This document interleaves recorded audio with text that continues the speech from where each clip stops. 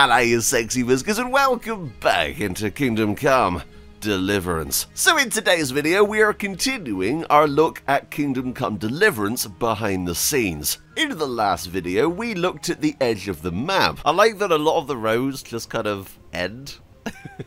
There's literally just cut off right there. I've got to say a massive thank you to everyone who viewed that video. You are all amazing. And the amount of comments and ideas we got from you guys was amazing. So in today's video, I'm going to be showing you some places that you're not exactly supposed to be seeing this early. But before that, I just want to fly Henry around. Whee! It really never gets old. So a majority of you wanted to see what Rovna looked like, and that is the first location we're going to be heading to today. Now you've got to remember, this is the start of the game, and currently there have been no attacks on Bohemia. But as you may notice right now in the distance, Rovna is on fire. Now what they've done here is quite simple. Instead of having a perfect Rovna at the start of the game, they just use the assets that are used during the Skalitz escape. Also, I did have a comment asking me to go inside. There is absolutely nothing inside this building. Now, was I expecting anything in here? Well, not really, but it would have been cool if they put one of the existing church interiors in here, just in case you ended up finding a way in. But of course, it's never designed to be entered, so that kind of makes sense. So yeah, as you guys can see, the huts outside are completely burning. Also, there are no villagers in Rovna whatsoever. Now, we touched on this in a very old sexy biscuit video. I realised that you could only hear the civilians during the Skalitz escape sequence, but you couldn't see anyone. And that's because the developers just added a sound effect of people running away. As with most game development, it's a facade. And that's what I find most fascinating about it. So before we head to Talmberg, I wanted to head back to Skalitz. Because if you guys have played the Woman's Lot DLC, you know this is where Fritz and Matthew work. You head down here as Teresa, but you never come down here as Henry. So what are you expecting? Civilians, right? Well, not exactly. It turns out that there are already bandits here. yeah, we're just supposed to assume that there are civilians here, but no, this place has actually already been taken over by bandits. Oh, that's interesting. They've actually escaped the boundaries of the mill, and now they're running around Skalitz. I wonder if I could try and get them to go a bit further up here. Now, of course, Skalitz is completely closed off. Uh, we're not supposed to leave here um, the only time we are able to leave here during the prologue is with Teresa in the Woman's Lot DLC, so that kind of makes sense. Something I always like to point out is that there's a chest uh, right down here that has a load of really good loot in it, so always try and get that chest there. So we're going to be heading to another two places in this video, uh, Talmberg and Rattay. Now Rattay could have its own separate video. There is a lot going on there, and I want to delve into that in a separate video. But we are going to look at one thing that absolutely blew my mind. So we're going to make our way through the same way that Henry travels on his horse after the Skalitz prologue. So we're going to come along here, and we should be approaching Talmberg. We got the uh, stonecutters here, and there seems to be people here already. One thing I do notice is when I fly over, everyone kind of spawns inside one another, which is really interesting because it's, I'm guessing they have one spawn point, and when Henry gets close enough, not to the point you'd ever see it, but when Henry gets to that point of initiating their spawn, they all just spawn in one place and then kind of divert outwards um, to do their jobs. Um, so that's basically how all of the AI seems to run in this game. So if I keep going up here, we will enter the outskirts of Talmberg. Now, I've been asked to look at the raid on Talmberg later in the game, and that is going to be its own separate video, because I want to kind of keep this in chronological order, um, and then we're going to work up throughout the end of the game. Um, so yeah, there are guards and everything guarding Talmberg town. Coming up here, of course, you've got the tavern, and they're all doing their business. You see there? Those three people came out of one place. Uh, as you guys can see, yeah, that's how AI seems to work in this game. It's kind of interesting because, of course, you'd never see that um, as Henry walking or running because that would have already been initiated before he even gets around the corner. Um, so it's kind of interesting how they do that. And here is Talmberg Castle. Now, everything seems absolutely okay in here. There's not really anything that different for when you actually come here later on. We've also got Henry's room he stays in right here, um, so that's there before, of course, he comes here. You never really see these guys up this close. Hello! Literally, I would spend hours giving them all voices. I swear that guy's just a bloody accountant called Dave. Hello, I'm Dave. I'm an accountant. Ah, it's the small things that make me happy. So we've got Lady Stephanie. We've got, um, Robard or Bernard. I always get those two mixed up. Um, also, we've got Divish here. He's just sat there like, hello, I'm Divish. And that's Percy. Yeah, that's who that is. Uh, can we actually talk to them at this point? Hang on. So what I'm going to do is I'm going to turn back on the HUD. Lady Stephanie, Sir Robard. It is Robard. Uh, we've got Sir Divish, and no, we can't interact with them at all. Ah, Lady Stephanie, in a couple of short hours you'll be meeting the love of your life. Hello, how's it going? I'm Henry, bailiff of Biscuit Town that doesn't exist yet. Yeah, we're going to be heading there in another video, don't worry. But yeah, that's uh, Talmberg. Uh, there's not really anything too surprising here, to be honest.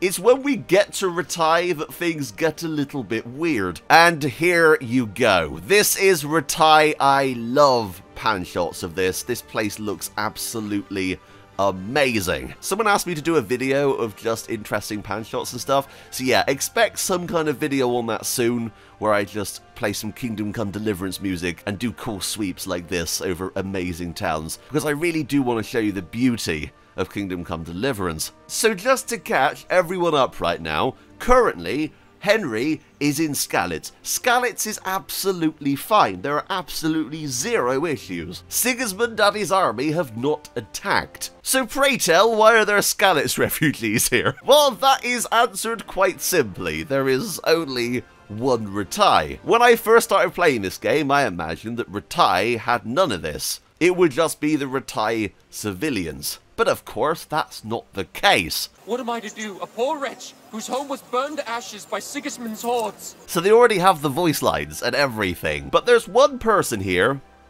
who may surprise you. Hello, Kunesh. yeah, yeah, your eyes don't deceive you. This is Kunesh, uh, who, of course, is still in Skalitz. I thought that one bloody Kunesh was bad enough, but there's bloody two of them. Now, you can punch him. Uh, nothing really happens. Also, there's no interaction, annoyingly, with these characters. You all know what happened there.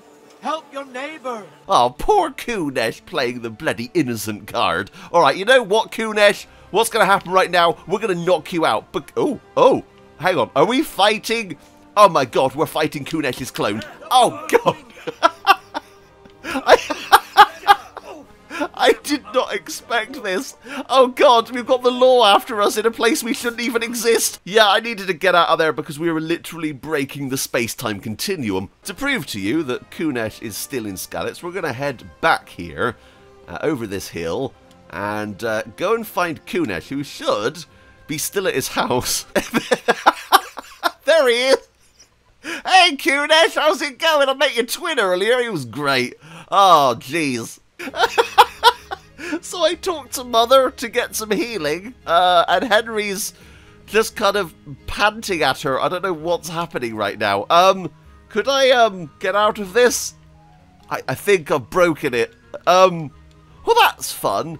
I can't even pause the game. Yeah, I, I've broken Kingdom Come Deliverance. What was I expecting? Okay, I've reloaded the game and I'm quickly going to do something. So someone asked how far does um, the mirror image of Kingdom Come Deliverance go? And I'm assuming it's the same size on all four corners. Um, so if I was to travel up here uh, and then look down, in theory we can actually see this. From a distance it actually looks like the real map, I suppose. The only problem is if you look forward it gets rid of it. Like, it disappears completely. So for those of you asking if you can see towns and stuff, um, no. That, in theory, right there is Skalitz. And if I go down here to where Skalitz would be, it's just a, a, blob. There's there's nothing really here. This, in theory, is the incredibly low detail version of Skalitz. So no, there are no hidden towns or anything on this map um, unfortunately. Okay, we're back in Rattay. Let the game load in a little bit. this time I'm not going to punch Kunesh in the face. even though I want to. So I've come up to the training ground because I had a comment from someone saying there was something underneath. They had accidentally somehow glitched the game and saw that there was a chest underneath here. So what I'm going to do is I'm going to travel under... There you go. It does exist. Now, is this openable at all? I don't know if I'm going to be able to open this, mainly because I don't have any lockpicks. Um, is there any kind of sign that I can even open this right now? You can travel inside it. Of course, there's nothing in there. There wouldn't be. So even if I hold down A on it, there, there is absolutely no way for me to be able to go inside this chest. Now, with something like Skyrim, uh, something they do is they hide merchants' chests underneath the world. Um, like the one, I think it's in Dawnstar, does that. And there is actually one you can access uh, very slightly and you can end up getting a lot of loot. I'm guessing what this is, is that. This is basically one of Rattay's merchants' chests, where they get their stock from. But unlike Bethesda, uh, Warhorse had the insight to turn off interactability, so uh, we're not able to actually access this chest. So what I'm going to do is I'm going to head under Rattay, see if there's anything underneath here. Oh, hang on, what are those? We want a shrubbery! Okay, uh, great. Um, uh, okay. Right, yeah, there's just a tree here. Uh, of course there is. What I do want to do, though, and a lot of you have asked, is Radzig already in Pirkstein? Um, so if I was to come here, uh, is there anything in here? Oh, well, that's terrifying. Let the uh, lighting come back on. There's nothing under there. Is there anything inside here? Uh, no, there is a chest. Okay. No, Sir Radzig's not in here. I have seen him walk up there before, though. There he is. That's bloody Radzig. What's he doing here? Hey, Radzig, what are you doing in here? Hey, buddy. Okay, that's really bloody interesting because, of course, right now, Radzig isn't even in Skalitz, is he? He's currently traveling with that guy, and then you end up meeting him as he comes back to Skalitz just before the attack happens. So in theory right now, there aren't two Radzigs, there is only one Radzig. But it doesn't make any difference, he shouldn't be here at this point anyway. I know if you click F10, you actually get um, the boundaries. Now, a lot of people were wondering about the boundaries of the castles and stuff, and you guys can see here Henry kind of just popping through right now. Woohoo! oh, that's amazing. Um, yeah, so this is uh, the boundary of everything. Um, so you guys can actually see where the invisible walls and stuff are. You can even see there's an invisible wall around the uh, the fire, the camp. Um, and there, with that, I don't know why I can see Henry right now. I shouldn't be able to see him right now. That's weird. Um, now, there are these kind of red blocks kind of going around. I don't know what those are.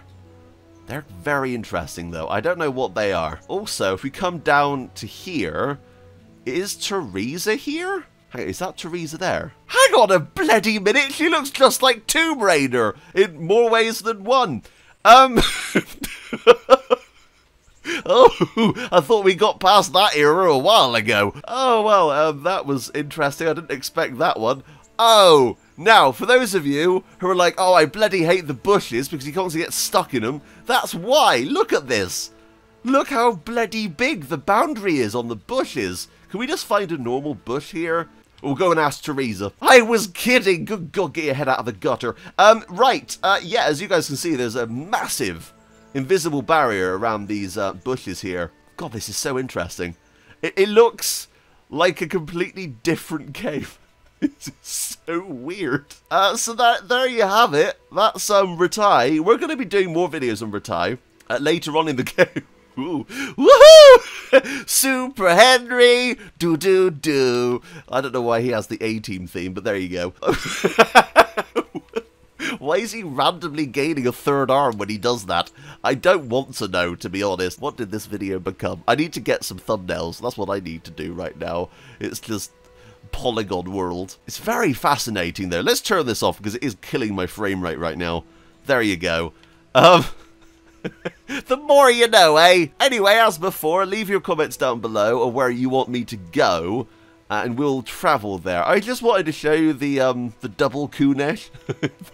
Kunesh's long lost twin. Uh, I think that was pretty bloody fascinating. No one expected that. So what do you guys think? Comment down below, tell me, leave a like, and also if you haven't subscribed already, please subscribe. It would mean the world to me. Uh, but until next time, that's me out. Bye, guys.